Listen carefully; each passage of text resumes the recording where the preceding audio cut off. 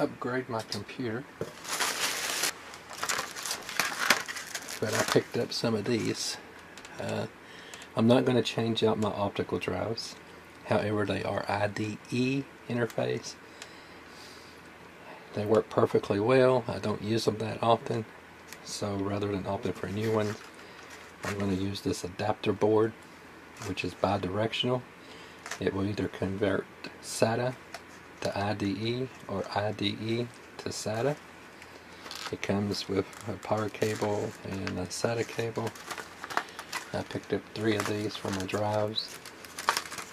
Of course, my build only requires two. Uh, they're pretty nice. I haven't tried them out yet, so I'm hoping they do work as advertised. Now,